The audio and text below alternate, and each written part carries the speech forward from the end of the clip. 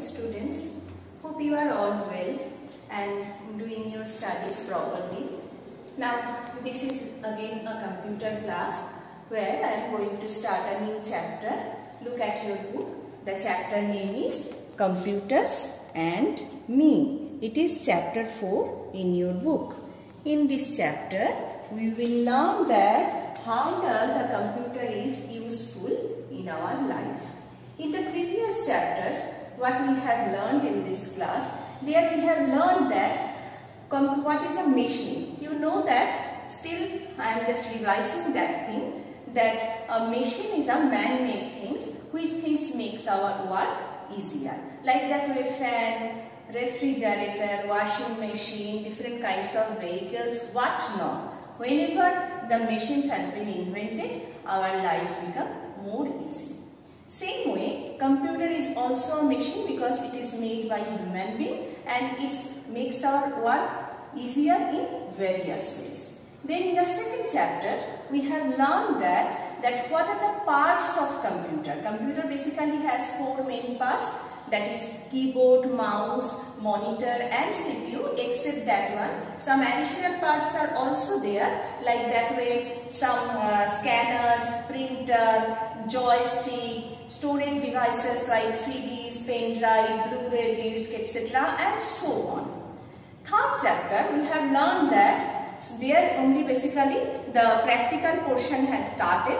There we have learned that how to start a computer, what is the proper way because if you don't know the steps how to switch on the machine, there are the chances of your machine to get damaged.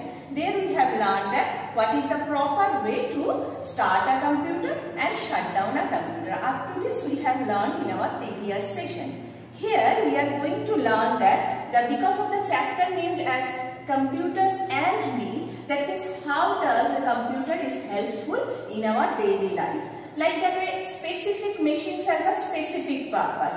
Refrigerator makes our food fresh, keep our food fresh and we can store the things for several days. Television has a, TV has a separate purpose, DVD has a separate functions, calculator has a separate function but this machine is only where different kinds of functions can be done at a time and we can get different kinds of facilities by a single machines. What are these in this chapter that has discussed. Now let's take a look in your book in the first picture, here a girl, there is a call outs, this symbol has given and another call outs. These are called call outs. Other call outs has been given that the girl is thinking that what the things she can do by a computer.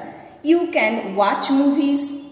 So this is used to watch movies, solve sums, you can do mathematical calculations, you can send letters which is called emails to your friends or relatives you can draw pictures, you can make greeting cards. Suppose your friend's birthday is coming or you want to give a Father's Day or Mother's Day card to your father or mother, then only you can make the greeting cards through this way. You need then only a printer if you want a hard copy of this. You can do calculations. If you are getting bored during your work time, then you can listen to music you can record your voice and you can listen it later on and so many works can be done through this computer. The same thing I have written there on the boards. Second time that take a uh, glance of that. That is we can record our voice, we can watch movies, we can solve sums. I hope you have understood this we can type text, we can make greeting cards, different kinds of beautiful greeting cards has been made. How to do this? We will learn this in our higher classes. Then you will get so much interest by making these things. You can draw pictures, you already know how to use pen. You can listen to music, you can send emails. And so many are also there which have not written here. So a computer can do several types of stuff by a single set of machines. So only it has written that way features of a computer. A computer can help us in doing various tasks. What i have just just now discussed but there are some jobs that a computer cannot do. What are the things a computer cannot do and what the computers can do? These things i am coming to discuss in my next video class. There only in this class i have spent to discuss the different tasks what we can do through our computer, what the facilities we get. In my next class, I am going to discuss that which the computers cannot do and which the things a computer and a human being both can do. So, stay safe, stay well and learn these things until which I have discussed in this class. For today only, bye bye.